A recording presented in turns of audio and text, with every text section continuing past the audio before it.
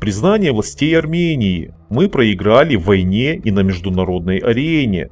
Президент Армении призывает провести внеочередные парламентские выборы и создать высокопрофессиональное правительство национального согласия. Президент Армении Армен Саркисян заявил, что страна проиграла как в войне, так и на дипломатической и международной площадках. Учитывая сложившуюся ситуацию, принимая во внимание общественные требования, очевидно, что во избежание внутриполитических потрясений проведение внеочередных парламентских выборов неизбежно. Об этом сказано в частности в его послании. Саркисян заявил, что в данном контексте единственным ответственным подходом может быть объективная оценка властями и правящей политической силой своего потенциала, представление в кратчайшие сроки дорожной карты по срокам предполагаемых конституционных процессов, в результате чего станет возможным проведение внеочередных парламентских выборов, по его словам, до этого управление Арменией будет передано высокопрофессиональному правительству национального согласия.